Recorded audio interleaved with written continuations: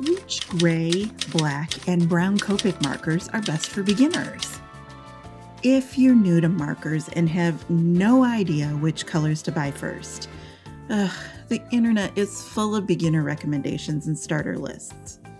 But if you don't know anything about markers, then you probably also don't know how to tell a good starter list from a bad starter list. And whew, I've seen some bad ones out there. Today, let's talk about the neutral marker families. I'll tell you which colors I recommend for beginners and why. The why is really important because Copics are not cheap. If I'm asking you to spend money on a specific color, I want you to know why. I've also got some amazing money saving tips for you and a few freebies. Before we get into the recommendations, you should know that today's video is part of a series. Each video breaks the rainbow of markers down into bite-sized color groups. Don't worry, you don't have to watch them in order. Finish this video and links to the others are down in the description. But if this is the first one you're watching, I always start with a beginner warning about the boxed sets. I do not recommend these large sets for beginners. And I'm pretty sure if you ask the folks at Copic, if they were honest, they probably don't recommend box sets for beginners either. The boxes make much more sense for experienced Copic artists and art studios who are building a full collection fast. There's no discount on the boxed sets, so there's no financial benefits to buying a box. In fact, there's a major disincentive because boxes are color samplers. Boxes do not contain blending combinations, so you'll be forced to run out and buy more markers to blend with the markers that are in your box. I learned this lesson the hard way, and I don't want you to make the same mistake. It's much better to purchase your markers open stock or in small blending combination packs so that all of your markers have a couple of friends that they can blend with. Aside from the box sets, the other thing I want to warn you about are the Copic starter lists that are floating around out there on the internet. See, around 2015, adult coloring got really trendy, and for a while there, Copic was the hot, hot, hot new product for crafters. Never mind that Copics had been used by artists around the world for decades, Suddenly, nurses, attorneys, and third grade teachers were offering Copic advice in blogs and videos. A lot of the lists that are online now, they go back to those days when the average Copic expert was just someone who messed around with markers on the weekends. And their beginner lists are really nothing more than the markers they like best. I can't tell you how common it was for a marker blogger to release their best ever list one week and then two weeks later show you their gigantic Copic marker haul. Wait a minute. How can you recommend the best of the best Copics if you have never used all the Copics? When information is scarce, you really have to pay attention to who you call an expert. I'm a professional illustrator and I've been teaching beginner marker classes since 2014. I look at some of these lists and there's no way that I would teach a beginner class with these colors. Why not? Well, in markers, and this is true for every brand of alcohol marker, some marker colors stain more than others. A staining marker is a color that grabs onto paper fibers and it really doesn't want to blend. Now, Copic has fewer staining colors than the other brands. That's one reason they cost more, because they have very high ink standards. But even with Copic and all my years of experience, some staining colors still cause me problems. They make us work harder to smooth the blend. So there's no way I would recommend a bunch of staining colors to beginners. This is also why I don't recommend other brands of markers for beginners. Heck, the brand that's likely advertising on my video here is mostly staining colors. This company has single handedly lowered the bar for what smooth blending is supposed to look like. They don't blend well, but that's a rant for another day. A good starter marker list, though, it avoids the staining markers as much as possible. My browns and grays today are all easy blending colors because I want you to succeed.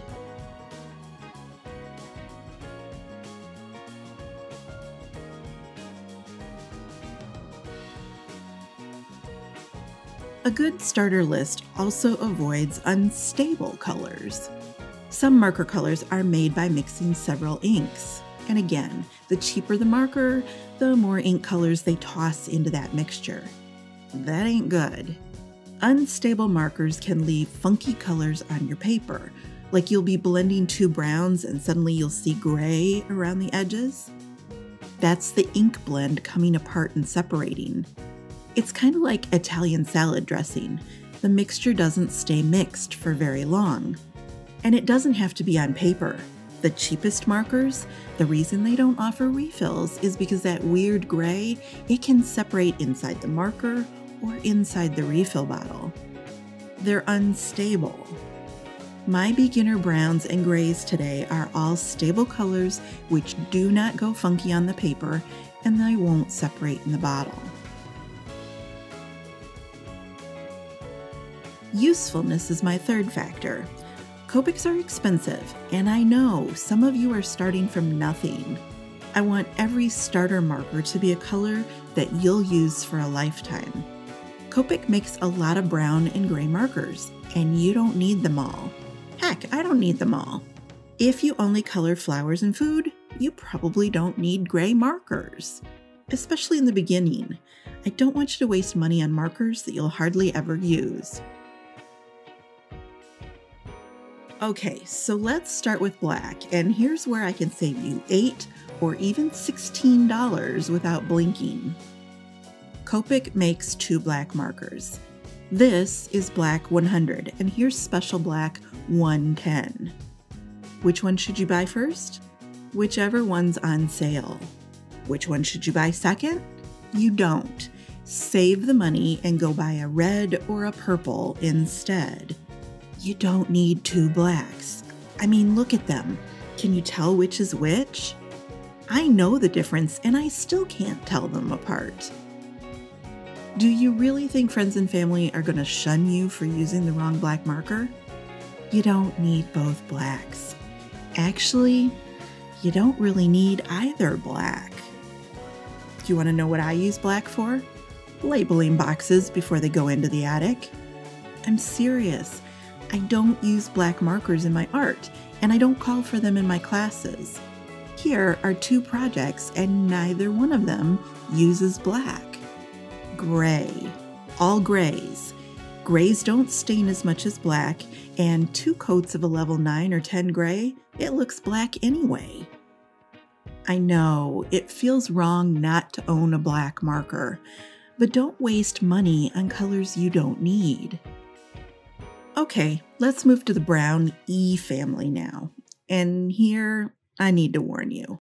I'm not a card maker or a colorist, so I don't color cute little girls, fashion women, or sassy grandmas. I don't do skin and hair tutorials, and when I do color skin, I use lots of weird colors like violet, green, and pink. So if you want skin and hair recipes, I'm so not your girl. I color flowers, food, landscapes, and everyday objects. If I could only use one set of browns for the rest of my life, I would look for a relatively balanced brown. Something that's not too rusty and not too, well, okay, not too ugly. And that's pretty much the same criteria that I would use for beginner browns, too. I want your starter E's to work for lots of brown things. So here's the E family. The E zeros have a lot of red in them. That red base, it makes them a staining color. The E teens are red too, so nope, not a good beginner choice. The E20s, 30s, and 90s, they're all dirty oranges. I love the 90s, but they're barely brown. I like the 20s and I like the 30s as brown though. They're stable and easy blenders. The E40s and 50s have yellow undertones, which makes them less versatile. The E70s are brownish purples. They're interesting, but this is a niche brown and you may never need them. and the E80s are green flavored.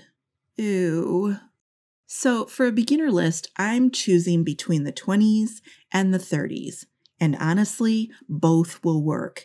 You could go with either set, but I'm giving a slight advantage to the E30s because there's more of them, and I think they're a little bit easier to blend. So, for the bare bones beginner set, I would go with E31, 33, 35, 37, and 59. They're made with a single ink. They're not mixtures to make them redder or grayer, so you can blend the heck out of them and they won't separate. They're just a nice standard brown. They'll work for animals or trees or a loaf of bread. Now let's go back a second to my recommended brown group. Why did I knock E39 off the list and replace it with E59? Because E39 isn't as dark as you think, and they don't make an E39.9999999. E59 is just as stable, it's just as universal, and it blends with E37. I also use a lot of beige, and the two that I use the most are E50 and E21, both of which can coincidentally also be used to color Caucasian skin. But again, I don't color skin very often. E50, E21, the E30s, and then E59. I teach with these browns all the time. They work for me, they work for my students, and they'll work for you too. Now let's talk gray. And here's where the Amy of today would argue with the Amy of 10 years ago. I used to recommend gray markers to all my students. And while it's nice to have gray markers for the occasional gray objects, my reasoning is that grays can be used to darken other markers that you already own, like if you're missing the next darkest marker. So here, I'm using grays to make Copics look one shade darker. But honestly, this is a total artist move. It's one of the reasons most professional artists will insist that grays are super duper important. We don't use grays for coloring elephants. We use grays to do artsy things. So nowadays, even though I still totally think that a set of grays saves you money in the long run, I'm not so sure that buying grays is really great beginner advice. Because frankly, most beginners aren't ready to do this. And some of you may even be seeing this move for the first time. So while I think everyone needs a set of grays before you get to the intermediate level, I'm not so sure you need gray in the first few months of markering. I mean, maybe if you color a lot of astronaut sharks? I just think there are other colors you need more when you're first starting out. And I know this is going to anger some artist friends because we all use the heck out of our gray markers. Like, I personally couldn't live without my grays. But again, my list is for beginners and hobbyists. The average beginner just isn't going to be coloring a lot of grayscale value studies on day 4 or even 104. Get more browns, get more greens. But let's say you do color a lot of Christmas possums. You want gray markers and you want them now, so which should you get? Okay, so Copic grays run from warm to cool. Warm grays have a strong yellow tone. They're technically yellow gray. The toner grays are lightly warm. They're almost a red gray. The neutral grays, now these are perfectly balanced. They're a gray gray. They're not too warm and they're not too cool. It's like Goldilocks gray. And then there's the cool gray group. They're blue gray. Now, Amy from 10 years ago used to recommend the N grays. In fact, some of you watching this may already have my old recommendation list, and it says very clearly on it N neutral gray. And if you have the N grays, that's great. There's no need to run out for more grays anytime soon. The N's are perfectly fine. But again, today's Amy is having second thoughts. I now recommend the C grays to beginners. N's are good, but I really think that the C's fit my easy, stable, useful criteria better. First, they don't make any neutral gray Ciao markers. So, for those of you who prefer Ciao, or maybe you're saving money with Ciao, you can't even get a neutral. But also, the C's are easier to blend, so that's really good for beginners. And last, I think the C's are prettier than the N's.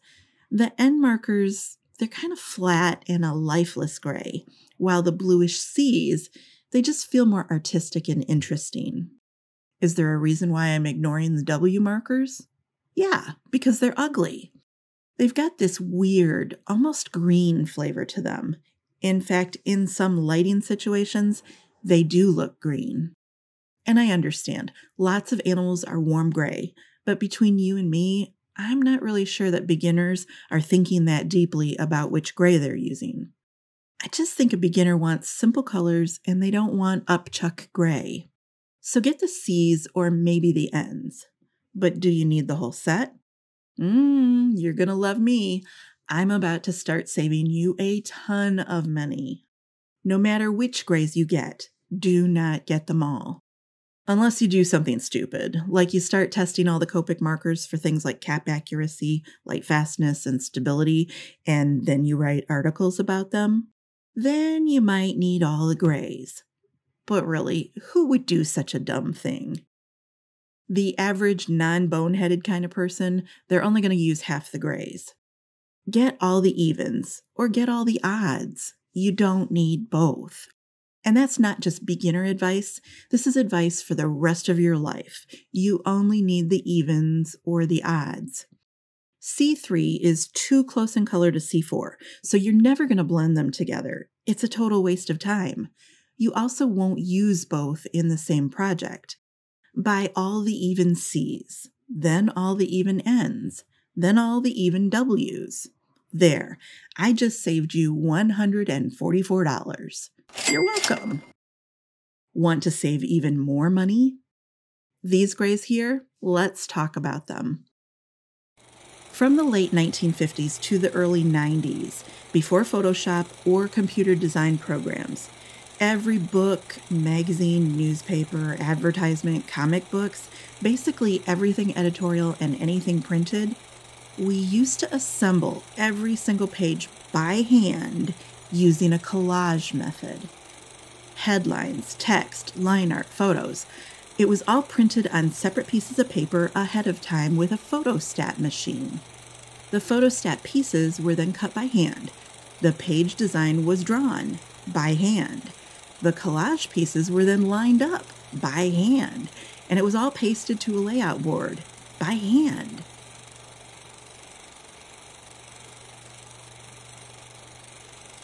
The finished board would get photographed with a giant camera system, and then printing companies would print from the negative. Paste ups were fiddly work. I learned to make the darn things in art school, and like the day after I graduated, everybody went digital. Anyway, when I tell students that Copics were invented for graphic artists, this is the stuff I mean. It's all about printing, graphic art. Toner gray Copics were used with photostats. Photostats were printed with toner. We colored on these photostats with illustration markers. We needed specialized grays to match the color of the photostats. That's why they're called toner gray.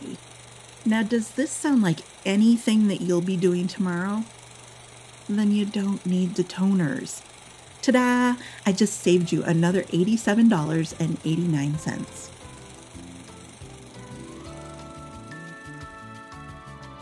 And by the way, what's so special about Special Black? This is Photostat Black. 110 is actually T11. I just saved you another $7.99. Since I just saved you so much money, perhaps I can talk you into my favorite set of grays, which aren't even marked gray if you like my underpainting methods and you know that this is something you want to learn to do, please consider this four marker set. With these four markers, wait, oh, okay, maybe add B60, but that was already on my list of blues for you. Okay, so with these five markers, you can basically underpaint anything. You don't need them right away, but if you spend enough time in my online classes, you're going to use these a lot. So here are my beginner recommendations for an all-purpose universal brown. Uh, but but black. Well, okay, one of them. And gray. Plus a little set of versatile underpaint markers. And remember, I've got a printable starter list waiting for you in my free download library. It's full of exclusive stuff for subscribers to my Saturday newsletter. Subscribe with the link down in the description. Click here if you want to learn more about why e-markers are not really brown. And for my recommended red markers, watch this.